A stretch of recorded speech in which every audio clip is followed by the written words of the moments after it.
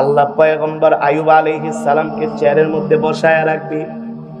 আর আল্লাহ হাসরবাসীদেরকে ডাকবে, তাল তাল তাল তাল তাল আসো আসো। আমল নামা দেখবে দেখবে আমল নামার ভিতরে কোনো নামাজ নাই, কোনো রোজা নাই, হজ নাই জাকাত নাই। শুধু দুনিয়ার দুনিয়ার দুনিয়া। আল্লাহ জিজ্ঞেস করবে, কারণ কি ষাট বছরের জিন্দিগি দিলাম? ষাট বছরের ভিতরে দেখতেছি তোমার আমল নামার ভিতরে কোনো নামাজ নাই, কোনো রোজা নাই, কোনো দান নাই, কোনো সাদাকা নাই। আমাকে কোনোদিন তুমি দশটা মিনিট বৈশা এক এক আমার নামের জিকর করো নাই, কারণটা কি? বলবে, আল্লাহ, আমি তো অসুস্থ ছিলাম। আল্লাহ বলবে, তুমি কয়দিন অসুস্থ ছিলা? আল্লাহ, আমি এক মাস, দুই মাস, তিন মাস, ছয় মাস, এক বছর অসুস্থ ছিলাম। আল্লাহ বলবে এই চেয়ারের মধ্যে যে বসে আছে, তাকে তুমি চিনো নাকি? বলবে, আল্লাহ, চিনি না। বলে, দুনিয়ার জমিনে একজন পয়গম্বরের নাম শুনছিলা কিনা? বলে, আল্লাহ, কোন পয়গম্বর? বলে, একজন পয়গম্বর, তার নাম হলো আয়ুব। পয়গম্বর আয়ুবের নাম শুনছো কিনা? বলবে, আল্লাহ, পয়গম্বর আয়ুব আলাইহিস সালামের নাম শুনেছি। আল্লাহ বলবে, আমি আমার এই পয়গম্বরকে এক মাস, দুই মাস, তিন মাস, চার মাস, ছয় মাস, এক বছর, দুই বছর, তিন বছর না। আমি আল্লাহ আমার পয়গম্বরকে আঠারো বছর অসুস্থ রেখেছিলাম। কত বছর? এ জোরে বলেন, কত বছর? আল্লাহ বলবে, আমি আমার এই পয়গম্বরকে আঠারো বছর আমি অসুস্থ দিয়েছিলাম। অসুস্থ ছিল পয়গম্বর আয়ুব আলাইহিস সালাম। এই পা থেকে পস্তে পস্তে পুরো শরীর পচে গিয়েছে, একেবারে কিরা হয়ে গিয়েছে। শরীর থেকে গন্ধ বের হয়, এলাকার মানুষ এসে বলে আয়ুব আপনি এলাকায় থাকেন, না হয় আমরা চলে যাই। পয়গম্বর নিজে কষ্ট পায় মানুষকে কষ্ট। ওলামাই কেরাম নিজে কষ্ট পায় মানুষকে কষ্ট। পয়গম্বর বলে, ঠিক আছে তোমাদের এলাকা ছাড়া লাগবে না, আমি নিজেই এলাকা ছেড়ে চলে যাই। পয়গম্বর আইব সালাম তার স্ত্রী বিবি রহিমাকে নিয়ে জঙ্গলে চলে গেলেন। পাঁচ ওয়াক্ত নামাজ আল্লাহ তাআলার হুকুম তিনি আদায় করেন, পালন করেন। আল্লাহর নামের জিকির কখনো বন্ধ হয় না। পয়গম্বর আয়ুব আলাইহিস সালাম অসুস্থ, আল্লাহ তাআলার শুকর আদায় করেন, বলে আল্লাহ আপনি আমাকে যে অসুস্থতার নিয়ামত দান করেছেন এই জন্য আমি আপনার উপরে খুশি। আল্লাহ আকবার।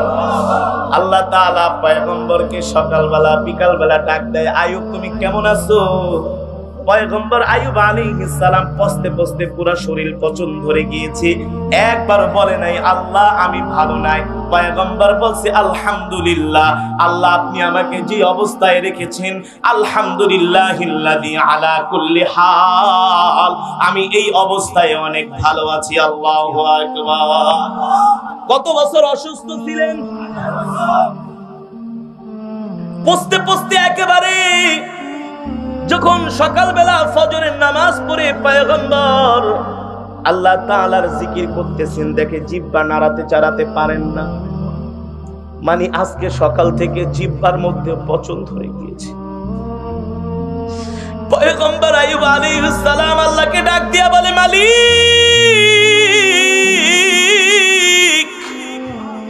ও মালিক! পুরো শরীর পচিয়ে ফেলেছেন আপনার কাছে কোনো অভিযোগ করি নাই। পা পচে গিয়েছে, হাত পচে গিয়েছে। পুরো শরীরটাই পচে গেল গো আল্লাহ। আপনার কাছে কোনো অভিযোগ করি নাই। আজকে ফজরের পরে দেখতেছি মালিক, আমার জিব্বার মধ্যেও পচন ধরেছে। আমি আয়ুবার সহ্য করতে পারি না।